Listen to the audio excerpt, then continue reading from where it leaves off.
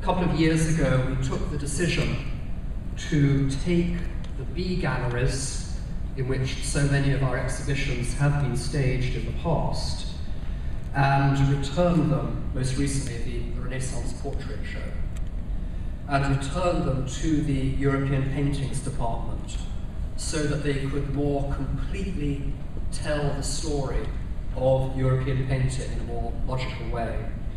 And Keith Christiansen and his curators are now hard at work.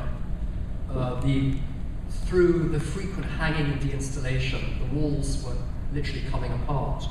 So we have been rebuilding these galleries and um, reinstalling them.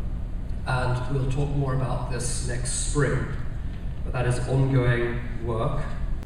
The building site that is now our plaza and is what the plaza will look like for the next two years.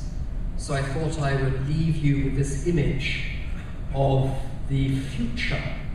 Beautiful new fountains, new plantings, happy people in all directions, flocking to the Metropolitan to make their recommended donation to come and see the greatest encyclopedic collection in the world and the most vibrant exhibition program in the world and afterwards going to the shops and the restaurants gorging themselves on metropolitan food and going home in bags laden with metropolitan items.